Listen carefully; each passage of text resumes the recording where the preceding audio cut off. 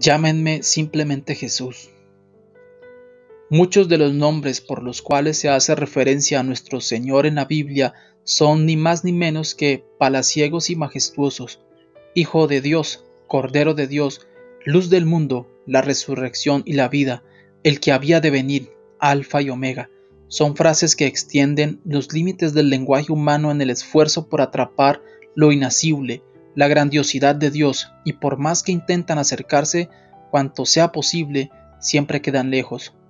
Cuando las oímos es algo parecido a escuchar en Navidad a la banda del ejército de salvación ejecutando el Mesías de Handel. La intención es buena, pero no surte el efecto deseado. El mensaje es demasiado majestuoso para transmitirlo por ese medio. Y eso es lo que pasa con el medio lingüístico. La frase no hay palabras para expresarlo es en realidad la única que puede aplicarse francamente a Dios. No hay nombres que lo describan adecuadamente, pero hay un nombre que trae a la memoria una cualidad del Maestro que pasmaba y convulsionaba a quienes lo conocieron.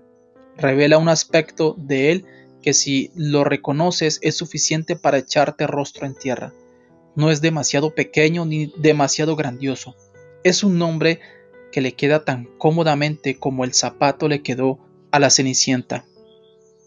Jesús es el nombre que más comúnmente le aplican los evangelios, unas 600 veces. Y era de por sí un nombre popular. Jesús es la forma que se le dio en griego a Josué, Jesúa, los dos nombres conocidos por el Antiguo Testamento. Hubo por lo menos cinco sumos sacerdotes conocidos como Jesús. Los escritos del historiador Josefo hacen referencia a una veintena de personas de nombre Jesús. El Nuevo Testamento habla de Jesús justo, amigo de Pablo, y el mago de Pafos se llamaba Bar Jesús. En algunos manuscritos se atribuye como primer nombre el de Jesús a Barrabás. ¿A quién queréis que os suelte? ¿A Jesús Barrabás o a Jesús que se llama el Mesías? ¿Qué importancia tiene?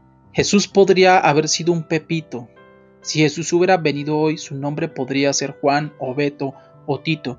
Si Él estuviera aquí hoy, es improbable que se distanciara con un nombre altisonante como el reverendo santidad de la divinidad angelical 3. No. Cuando Dios escogió el nombre que llevaría su Hijo, escogió un nombre humano. Eligió un nombre tan común como esos que aparecen dos o tres veces en el registro de alumnos de cualquier institución. En otras palabras, el verbo se hizo carne, como dijo Juan, uno podía tocarlo, acercarse, llegar a él. Si él estuviera en el mundo hoy, posiblemente no lo reconoceríamos al caminar entre los pasillos de un mercado. Ni su vestimenta ni sus joyas lograrían que las cabezas giraran para observarlo. Llámenme simplemente Jesús. Casi podemos oírlo decir. Él era la clase de amigo que invitaría a su casa para mirar el partido televisado.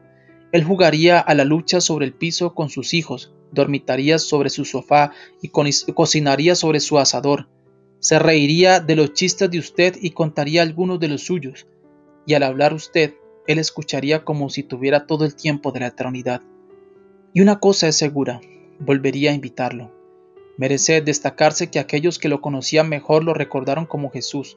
Los títulos Jesucristo y Señor Jesús se encuentran solo seis veces, los que anduvieron con él lo recordaron no con un título o con un tratamiento honorífico, sino con un nombre, Jesús.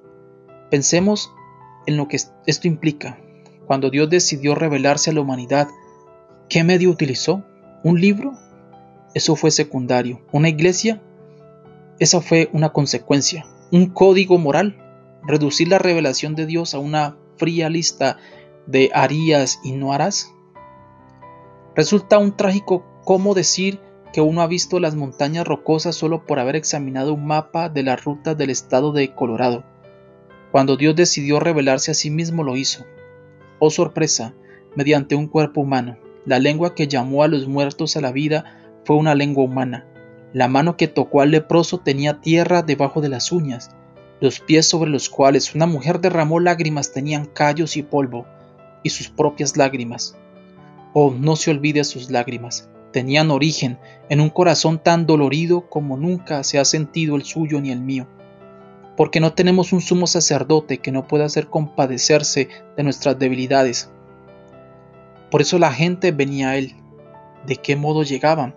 venían de noche, lo tocaban al caminar él por las calles, lo seguían bordeando el lago, lo invitaban a sus casas y traían a sus niños a sus pies. ¿Por qué? Porque él se negó a ser una estatua en una catedral o un sacerdote sobre un púlpito elevado, eligió en cambio ser Jesús. No hay indicio alguno de que una persona haya tenido miedo de acercarse a él. Había quienes se burlaban de él, había quienes le tenían envidia, había quienes lo interpretaban mal, había quienes lo honraban, pero no hubo ni una persona que lo considerara demasiado santo, demasiado divino o celestial como para tocarlo. No hubo una sola persona que por miedo al rechazo se desanimara de acercarse a él. Recuerde eso, recuerde eso la próxima vez que se encuentre perplejo ante sus propios fracasos, o la próxima vez que la lluvia ácida de las acusaciones perfore su alma, o la próxima vez que vea una fría catedral o llegue a sus oídos una liturgia sin vida.